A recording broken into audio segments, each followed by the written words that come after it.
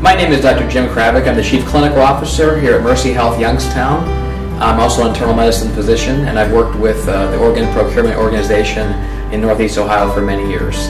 I'm proud to be a part of the administration of Mercy Health Youngstown where we have been uh, the number one hospital in Northeast Ohio for organ donors each of the last two years.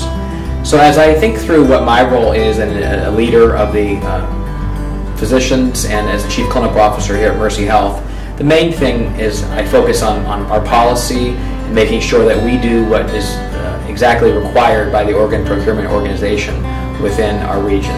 And realizing that in in, involves uh, knowing what the criteria are uh, and when patients are at the point of imminent death and also timely notification because by focusing in on those we can get the experts in uh, to meet with the patients, meet with the families, and make sure that we do the right things to have a higher chance of having organs, uh, organs donated.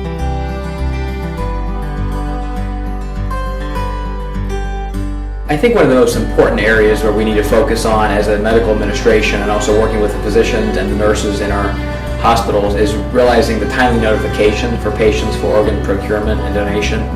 Um, the earlier the better that we can have our staff notify uh, the OPO, the better it's really the experts in that field that we want working with our families and just having these, difficult discussions.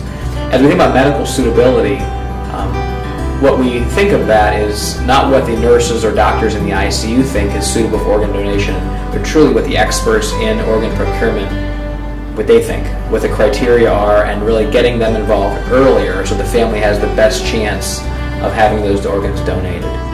Also important is maintaining the donors and their uh, functioning of their organs, maintaining vital signs, a very, very important part um, of the organ donation process. And you need the entire ICU team on, uh, on board because the physicians, the nurses, and the staff have to understand that we are still protecting the organs for these donors. Um, and it really is an educational process that we have to do. So as an administrator, we continue education for the ICU teams, the ICU physicians, to focus in on maintaining the donors and their organs.